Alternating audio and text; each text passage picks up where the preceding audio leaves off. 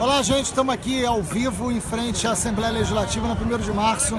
Acabou agora um ato importante de vários estudantes contra a PEC 55, aprovada, lamentavelmente, aprovada hoje no Senado, que é uma PEC de contenção dos gastos públicos dos investimentos. O que a gente fala lamentavelmente?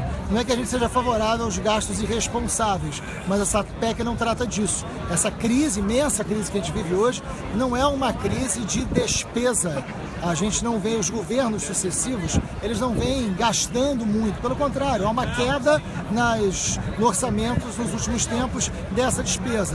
A nossa crise é uma crise de receita, a gente precisa arrecadar mais. E muitas vezes, quando você corta determinados investimentos, você prejudica essa arrecadação. Então, não se devia é, aprovar algo que vá limitar investimentos, por exemplo, em educação e saúde nos próximos 20 anos. Nenhum país teve a coragem de uma PEC tão perversa é, quanto essa. Então, lamentavelmente, isso não devia ter sido aprovado. A bancada do PSOL agiu com muita correção, ao contrário de outras, mas votou contrário a essa PEC.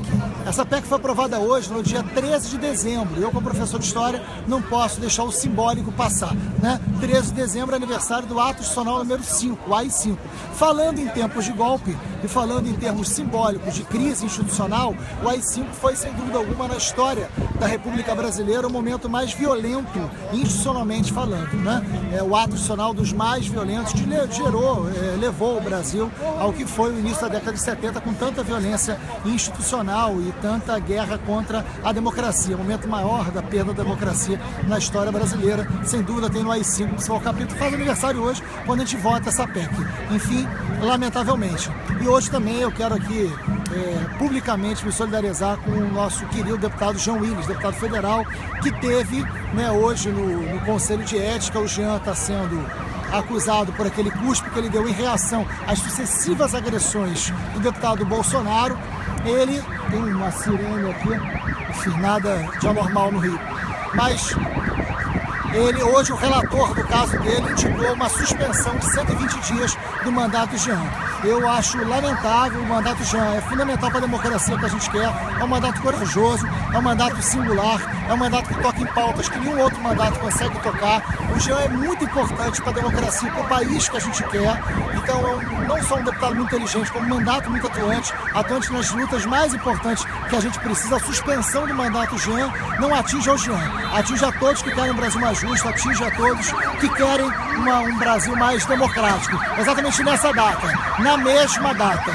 E ao mesmo tempo, estão liberando o trânsito aqui no 1 de março, ao vivo, é isso, notícias do trânsito do Rio, mas enfim, é serviço de utilidade pública também.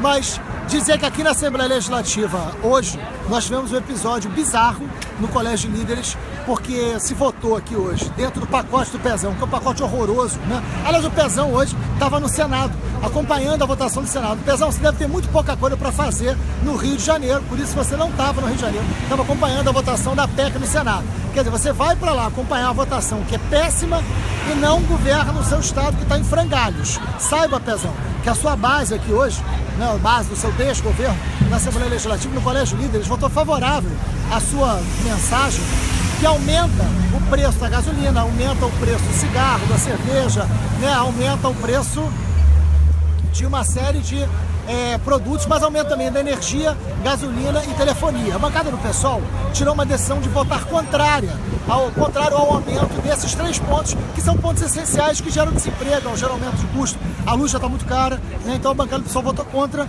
o aumento da energia, do combustível e da telefonia. Votou favorável ao aumento de outros produtos como cigarro, bebidas, enfim, porque a gente acha que se é para tirar de algum lugar, que se tire disso e não do trabalhador e não do servidor. Mas para nossa surpresa, no Colégio Líderes, que é uma reunião fechada, a bancada do governo votou favorável ao aumento. Quando foi para o plenário, essa bancada mudou o voto. E o voto não era contado, era um voto narrado, era um voto dito, mas é um voto. Existe voto simbólico, como eles estão dizendo. E para minha surpresa, nós tivemos mais votos contrários ao aumento. Mesmo assim, a presidência da casa declarou que o aumento estava dado. Porque no Colégio Líderes já tinham acordado de dar o aumento. O problema é que do Colégio Líderes para o plenário, eles mudaram o voto. Né? Então o voto do plenário é um voto que derrota o aumento desses três itens. Mas mesmo assim eles disseram que o aumento está aprovado, mesmo sem ter voto para aprovar. A bancada do pessoal está recorrendo à mesa diretora e vai recorrer na justiça. O governo que se organize melhor, o governo que organize melhor a sua base para votar de forma coerente com o que diz lá dentro e do que vota aqui fora. Sabe por quê? Que a base do governo falou uma coisa no Colégio Líder e fez outra no plenário? Porque eles estão com medo da opinião pública. Porque eles estão com medo disso aqui, ó, uma coisa chamada rua. Eles estão com medo dos, da mobilização popular. E terça que vem, gente, é hora de vocês ocuparem as ruas do Rio de Janeiro contra o pacote do Pezão. Terça que vem vai ser votado o aumento da contribuição previdenciária de 11% para 14%. Sabe que eu provoquei os líderes hoje? Eles me disseram o seguinte: sempre que a gente vai votar alguma coisa aqui no Rio de Janeiro, eles falam: não, mas olha São Paulo, Minas, Rio Grande do Sul, não pode fazer alguma coisa no Rio porque vai ficar diferente dos outros lugares. Ora, a contribuição previdenciária, na grande maioria dos estados, é 11%. Por que, que vai jogar para 14% no Rio de Janeiro se não é assim em boa parte dos estados?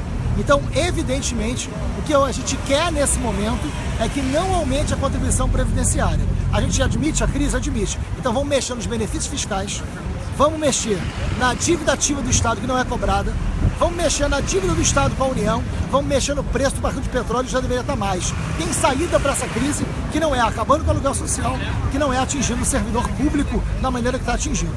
Terça que vem é um dia muito importante, é o último dia de votação do pacote maldade do Pezão. É dia do PMDB ser derrotado mais uma vez no Rio de Janeiro. Lotem as ruas. A gente quer uma manifestação pacífica. A gente não quer servidor contra servidor.